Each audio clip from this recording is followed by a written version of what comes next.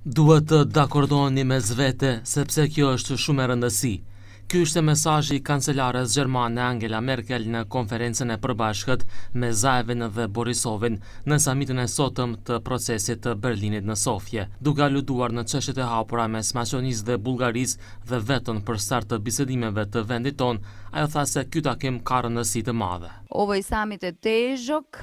Ky samit është i vështirë por dua të rikujtoj se si ishte më herët në Sofje, kështu kam parasysh se ku gjendeni tani për momentin. Dhe shumë është mirë që na treguat se mund të mbani konferenca edhe në këto kushte të vështira dhe mund të prezantojë progresin që kena arritur për rajonin.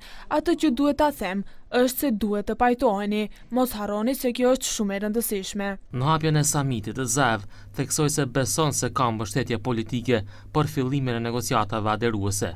Duhet ta kapim këtë mundësi dhe ta shfrytëzojmë për të mirën e gjithë qytetarëve, tha ai. Veruam deka imame obnoveni. Besoj se kemi impuls të ripërtrirë dhe është e dukshme mbështetja politike për procesin e zgjerimit dhe për zhvillimin e negociatave aderuese. Duhet ta kapim këtë mundësi dhe ta shfrytëzojmë për të mirën e të gjithë qytetarëve.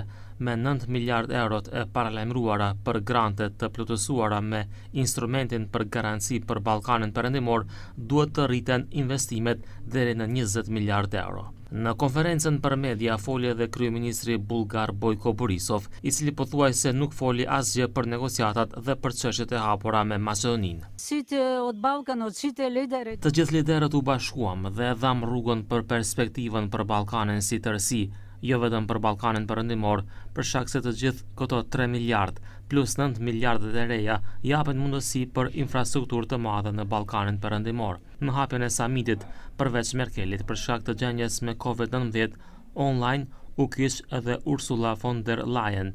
Takimi i ardhshëm i Procesit të Berlinit paralajmërohet të mbahet nga mesi i vitit të ardhshëm.